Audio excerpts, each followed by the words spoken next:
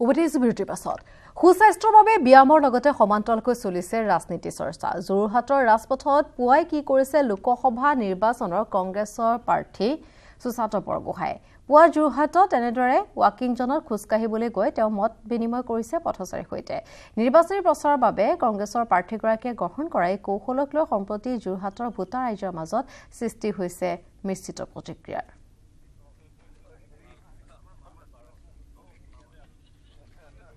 আৰু দৃশ্য আমি দেখুৱাইছোঁ। যোৰহাটৰ পুৱাৰ ৰাজপথৰ দৃশ্য এয়া। আৰু এনেদৰে সুস্বাস্থ্যৰ বাবে ব্যায়ামৰ লগতে সমান্তৰালকৈ দেখা গৈছে ৰাজনীতিৰ চৰ্চাও আৰম্ভ কৰিছে। যোৰহাটৰ ৰাজপথত পুৱাৰ ভাগতে এনেদৰে দেখা পোৱা গ'ল। লোকসভা নিৰ্বাচনৰ কংগ্ৰেছৰ প্ৰাৰ্থী সুশান্ত বৰগোহাঁইক। পুৱাই যোৰহাটৰ ৱাকিং জনত খোজকাঢ়িবলৈ গৈ তেওঁ মত বিনিময় কৰিলে পথচাৰীৰ সৈতে। নিৰ্বাচনী প্ৰচাৰৰ বাবে কংগ্ৰেছৰ প্ৰাৰ্থীগৰাকীয়ে গ্ৰহণ কৰিছে এই কৌশল আৰু এই কৌশলক লৈ এতিয়া যোৰহাটৰ ভোটাৰ ৰাইজৰ মাজত দেখা গৈছে মিশ্ৰিত প্ৰতিক্ৰিয়া।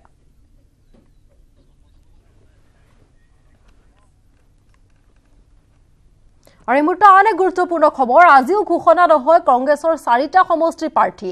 এ আই ডি এফৰ গোপন মিত্ৰতা ফাদিলৰ পাছত ধুবুৰী বৰপেটাতো প্ৰাৰ্থিত্ব প্ৰদানৰ ঘোষণা কৰিছিল কংগ্ৰেছে। যোগ্য প্ৰাৰ্থী বিচাৰি এতিয়াও হলঠেকত পৰিছে কংগ্ৰেছ নেতৃত্ব। এতিয়াও কংগ্ৰেছে ঘোষণা কৰা নাই গুৱাহাটী ধুবুৰী বৰপেটা আৰু কোকৰাঝাৰ সমষ্টিৰ প্ৰাৰ্থী। সন্মানীয় গুৱাহাটী সমষ্টিতো যোগ্য প্ৰাৰ্থীৰ অভাৱত সংকটত পৰিছে কংগ্ৰেছ। ইফালে গুৱাহাটী সমষ্টিৰ প্ৰাৰ্থিত্ব বিচাৰি সমৰ্থকসহ দিল্লীত বাহৰ পাতি আছে জ্যেষ্ঠ কংগ্ৰেছী নেতা ৰমেন বৰঠাকুৰে।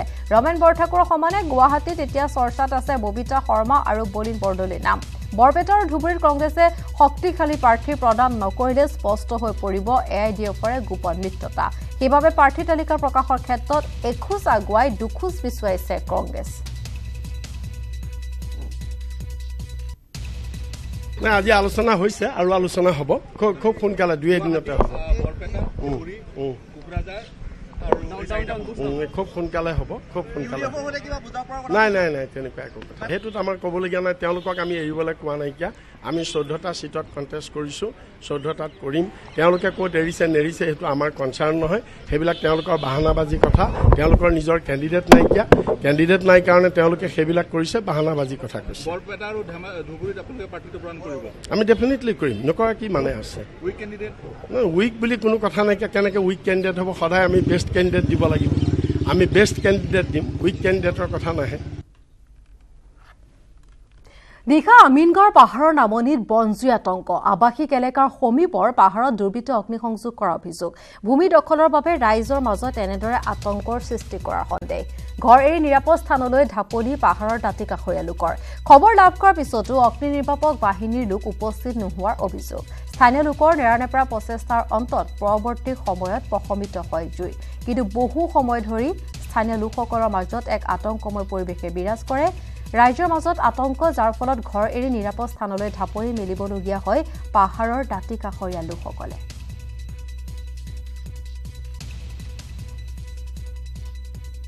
এতিয়া কোনে জুইটো জুই জ্বলাই দিলে এতিয়া গম পোৱা নাই। এতিয়া অকস্মাত মই দেখা পালোঁ ৰাস্তাৰ পৰা। তাৰপিছততো জুইটো জুই দপ দপকৈ জ্বলি আছে। এতিয়া বস্তুটো মানে কি আমাৰ পাহাৰৰ ওচৰতে নামনিতে ঘৰ দুৱাৰ আছে গতিকে এতিয়া লগাৰ চান্স আছে।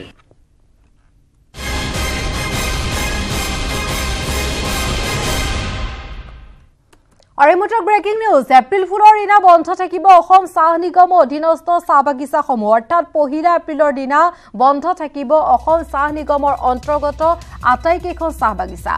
ঊনৈছ বছৰ ধৰি চৰকাৰী পক্ষই কৰি অহা বঞ্চনাৰ প্ৰতিবাদত আহ্বান কৰা হৈছে এই বন্ধৰ। চাহ শ্ৰমিকসকলৰ মৌলিক সমস্যাৱলীৰ প্ৰতি ৰাজ্য চৰকাৰে দেখুওৱা আওকনীয়া মনোভাৱক কটু ভাষাৰে সমালোচনা কৰিছে অসম চাহ কৰ্মচাৰী সংঘৰ নেতৃত্বই। যাৰ পৰিপ্ৰেক্ষিতত আমি জনাইছো বন্ধ ঘোষণা কৰা হৈছে এপ্ৰিল ফুলৰ দিনা অৰ্থাৎ এক এপ্ৰিলৰ দিনা। এক এপ্ৰিলৰ দিনা বন্ধ থাকিব অসম চাহ নিগমৰ অধীনস্থ চাহ বাগিচাসমূহ।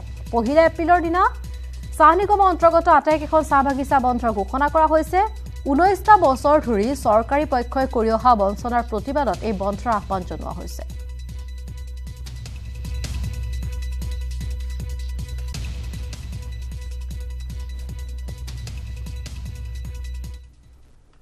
মাকুমৰ পাছত এইবাৰ তিনিচুকীয়াৰ শদিয়াত বিজেপিৰ নিৰ্বাচনী আচৰণ বিধি উলংঘা। নিৰ্বাচনৰ প্ৰাক্ষণত বিজেপি কৰ্মীয়ে বিতৰণ কৰা পাৱাৰ টিলাৰ জব্দ কৰিছে স্থানীয় লোকে। শদিয়াৰ নিজৰা পাৰত বিজেপি কৰ্মীয়ে অ বি চি হিতাধিকাৰীক বিতৰণ কৰিছিল ছখন পাৱাৰ টিলাৰ।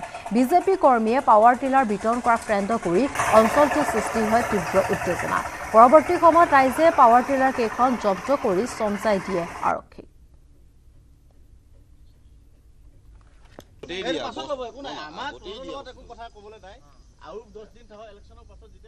আৰু ইফালে নগাঁৱত জব্দ হৈছে বৃহৎ পৰিমাণৰ নগদ ধন। জাজৰি আৰক্ষীৰ অভিযানত জব্দ হৈছে নগদ পঁয়ত্ৰিশ লাখ টকা। নিৰ্বাচনী পৰ্যবেক্ষক জিলা আয়কৰ বিভাগ আৰু জাজৰি আৰক্ষীয়ে চলোৱা অভিযানত জব্দ হৈছে এই বৃহৎ পৰিমাণৰ ধন। পঁয়ত্ৰিশ লাখ টকাসহ আৰক্ষীয়ে আটক কৰিছে চাৰিজনক। আৰু ধৃত চাৰিজন হৈছে চিত্ৰজ্যোতি ডেকা মনোৰঞ্জন দাস প্ৰদীপ প্ৰমণিক আৰু মনোজ দাস। নগাঁৱৰ পৰা জাজিৰ অভিমুখে আহি থকাৰ সময়ত কুৰুৱাবাহী চাৰিআলিত এখন টাটা টিয়াগো বাহনৰ পৰা জব্দ কৰিছে পঁয়ত্ৰিশ লাখ টকা। ধৃত লোককেইজনে নিজকে বন্ধন বেংকৰ কৰ্মচাৰী বুলি পৰিচয় দিছে। লগতে বন্ধন বেংকৰ নগাঁও শাখাৰ পৰা জাজৰি বন্ধন বেংকৰ শাখালৈ এই ধনখিনি অনা বুলি দাবী কৰিছে। কিন্তু জব্দ কৰা পঁয়ত্ৰিশ লাখ টকাৰ সন্দৰ্ভত আৰক্ষীক দিব পৰা নাই কোনো পৰ্যাপ্ত নথি। জব্দ কৰা এই বৃহৎ পৰিমাণৰ ধন ৰাজনৈতিক নেতাৰ বুলি সন্দেহ কৰা হৈছে। সেয়েহে ধৃত চাৰিজন লোকক নগাঁও আৰক্ষী থানালৈ প্ৰেৰণ কৰিছে জাজৰি আৰক্ষীয়ে।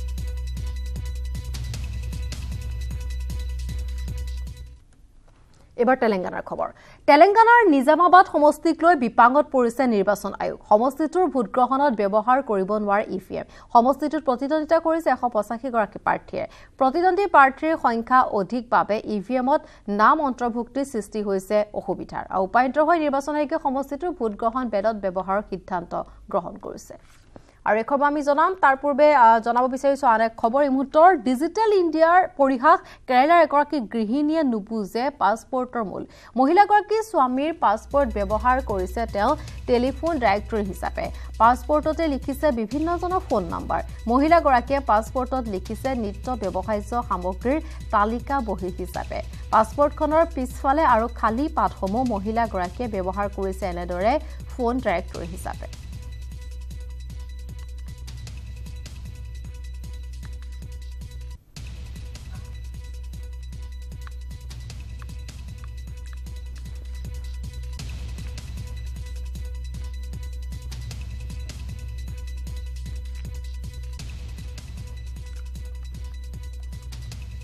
আৰু কেৰালাৰ এগৰাকী গৃহিণী কাৰ্যত এতিয়া হতভাগ হৈ পৰিছে সকলো। আৰু আমি জনাইছো কেৰালাৰ এই খবৰ কিদৰে ডিজিটেল ইণ্ডিয়াৰ পৰিহাস বুলি সকলোৱে গণ্য কৰিছে। এই ঘটনাক টেলিফোন ডাইৰেক্টৰী হিচাপে ব্যৱহাৰ কৰিছে স্বামীৰ পাছপৰ্টক।